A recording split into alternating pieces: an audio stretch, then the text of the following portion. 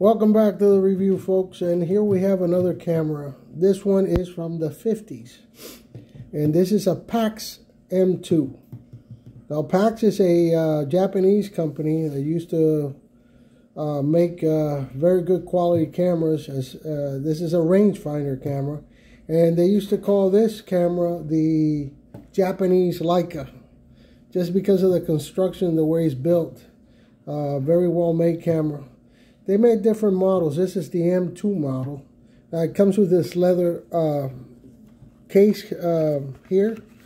And this comes off. And then this bottom part comes off. And this is the camera. Um, as you can see, it, it, looks very much like a Leica. Um, this is a heavy camera, although it's very, very small. It's, it's tiny compared to other cameras. Uh, this is a rangefinder camera. That means that uh, you watch, you view through here, and, th and then this is for uh, finding the range. Basically, you you adjust until you get the right exact uh, range uh, to shoot the, the shot. This thing is in phenomenal condition as far as the outside, the the way it looks and everything, the leatherette or leather. Um, it's got the Pax name in the back. Uh, this is serial number, this model number, but it's got several several issues uh, with it, and I'm going to go through the issues with you because uh, this is going to be auction. Uh, it's going to be on sale, put on sale on Etsy, but really reduced because it's going to have to be serviced, and uh, it's going to it's got several several different issues. Now the lens is in great condition. This lens right here is a 1.35 f40 45 millimeter Anastigmat Luminor. Um, great lens. Now this lens here does not come off. Now I've seen other videos that uh, cameras like this, people just take the lens off somehow and then put it on a digital camera because I want to use the vintage lenses. You can probably do that on this one. I'm not sure if you can or not. What does come off is the front part of the lens right here. Let's see if I can take it off here. And this can screw right off.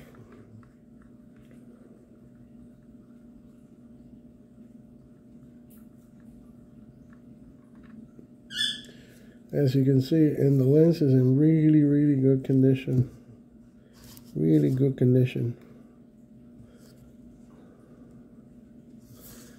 And there you can see the shutter.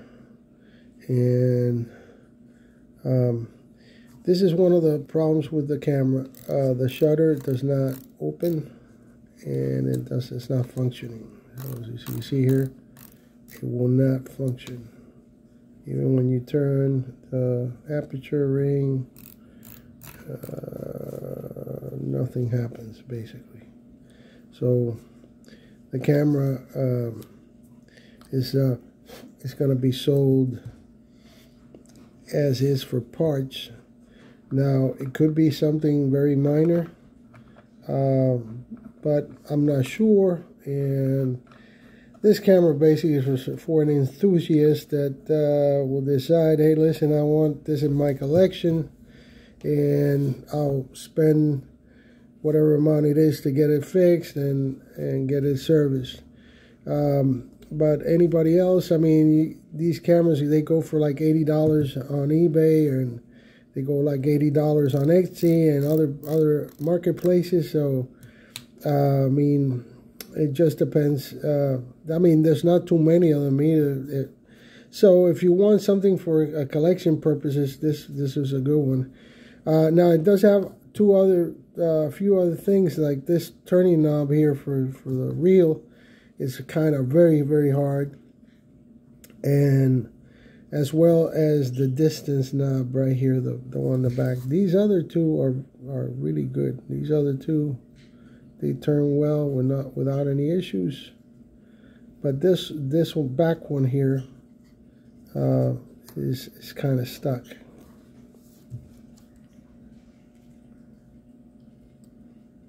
Okay, so um, and then here the the winder is is in good condition. Everything here is in good condition. This is to push down and you rewind your film. Um, it's got a cold shoot for for flash. Uh, right here on the lens. Let's see if we can find it here. This is right here down here. It shows you uh, you can get two different types of flash. You can get the bulb, which is you can turn it to this one, or you can get the regular flash. Uh, and then you just have to connect it to this piece right here. And you got your cold shoot. Um, it's a really fantastic camera. Feels heavy, feels quality. It feels very good quality. It's metal, you know, all mechanical. There's nothing, there's not mechanical in this camera. This is to open the back. So let's see if I can do it with uh, right here. See, very easy. Much easier than a Leica. And uh, much easier than some other uh, cameras that, that look like a Leica. This is Japanese made, man. This uh, Japanese, they make good quality. And look at the inside. This thing looks like new. I mean, I, I just don't know exactly what happened that it got to the point that the shutter doesn't work and and that this winding knob is so tough uh, to to turn, but I'm not sure. See, everything looks good. Everything looks pretty good in there. You know, and uh, to put it back back in, you you align this right here. If I can align it right there, and then you turn it to lock, and that's it. And it's a really nice looking camera.